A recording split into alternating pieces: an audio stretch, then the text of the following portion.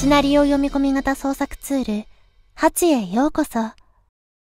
発射される被害男性。アイテム番号、SCP-1083-JP。オブジェクトクラス、ユークリッド。特別収容プロトコル、SCP-1083-JP はサイト、81KA の野外収容区画内に配置されます。収容区画内への電波を発生させる機器及び可燃物の持ち込みは制限されます。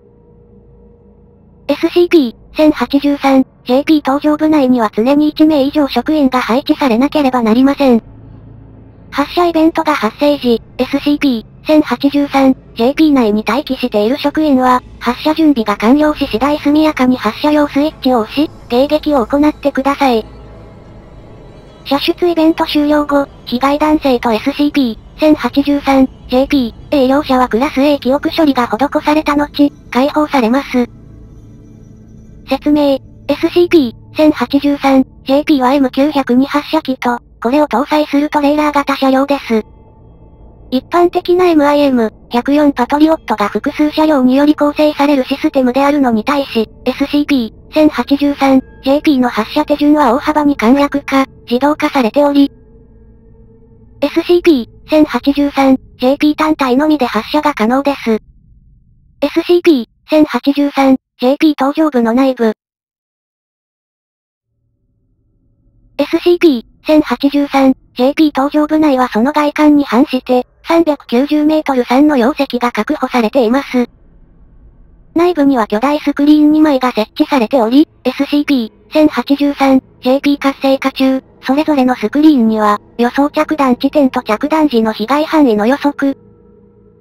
日本の領空内を飛行している航空機の情報が表示されます。スクリーンの他には、発射イベントの発生を警告する警報ランプと発射用スイッチが設置されています。その他の機器は常にランダムな情報を表示し、外部からの入力に対してはいかなる反応も示しません。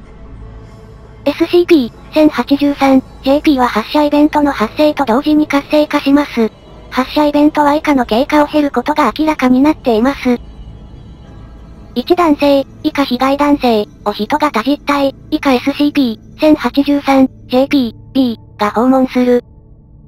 対象となる男性は、満65歳以上であり、婚姻関係にある女性、以下 SCP 1083、JP、A、が重度の認知障害による徘徊で行方不明であるものに限られる。2SCP-1083、JP、B は被害男性に対し、被害男性の妻が発見されたため今すぐ同行してほしい、ことを伝える。この際、SCP-1083、JP、B は警察庁、手帳、音声データ、発見現場の写真などを提示することで、被害男性の信頼を獲得する。3被害男性は SCP-1083、JP、B の誘導で警察車両に告示した自動車に搭乗する。登場後、被害男性は強い眠気に襲われ睡眠状態に陥る。4被害男性は SCP-1083、JP、B によって SCP-1083、JP の発射機に装填される。これ以降、被害男性はイベント終了までの間、あらゆる外傷を受け付けなくなり、温度変化に対する耐性を得る。5SCP-1083、JP、A が未知の手段で発射される。この時点からイベント終了まで、SCP-1083、JP、A は被害男性と同様の体制を獲得する。6SCP-1083、JP、A は徐々に加速し、最終的に、KM 毎秒まで加速する。7SCP-1083、JP、A は大気圏を突破、宇宙空間まで飛翔した後、無重力状態にもかかわらず、地球上と同様の落下運動を開始する。8SCP-1083、JP のスクリーンに、発射準備完了、の文字が表示される。9SCP-1083、JP 内の発射用スイッチが押されると、被害男性が初速度、KM 毎秒で射出される。発射後、被害男性は重力、空気抵抗の影響を無視した等速直線運動を行う。10上空で被害男性と SCP-1083、JP、A が衝突する。この時、被害男性は SCP-1083、JP、A を抱きしめるような姿勢をとる。11衝突とほぼ同時に、被害男性、SCP-1083、JP、A 付近に15サイズの花火玉が出現し、爆発する。12被害男性、SCP-1083、JP、A はゆっくりと降下し、着地する。発射イベント後に行われた検査の結果、SCP-1083、JP、A は完全に健康体であり、認知障害を含む行方不明前に患っていた体の不調すべてが完治していることが判明しました。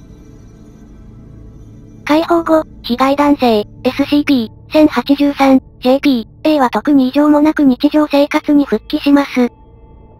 両者の関係はイベント後おおむね良好な状態を維持し、被害男性には、現在の状況に関する質問に対し、非常に幸せである、旨の回答を行うなど、明らかな精神状態の改善が見られます。ほい。2010年9月日に、県の山中で発見された女性の遺体の DNA が、2010年7月日の発射イベントにおける SCP-1083、JP、A の DNA と一致することが判明しました。また、遺体の解剖の結果、遺体には SCP-1083、JP、A が発射イベント前に患っていたとされる全ての病の痕跡が確認されました。これを受け財団は当該被害男性に対し、発見された遺体の所持品などともに、現在ともに生活している SCP-1083-JP-A は、被害男性の妻本人ではないことがほぼ確実であること、を報告しましたが、被害男性はこれを認めず、所持品や遺体の確認作業に同行することも拒否しました。SCP 1083JPA を隔離し収容することも検討されましたが、SCP-1083JPA 自体には何の異常性もないことと、情報隠蔽の難度を加味し、被害男性、SCP-1083JPA 両者は記憶処理の後、財団フロント企業の経営する居住施設にて同居し、半収容状態に置かれることになりました。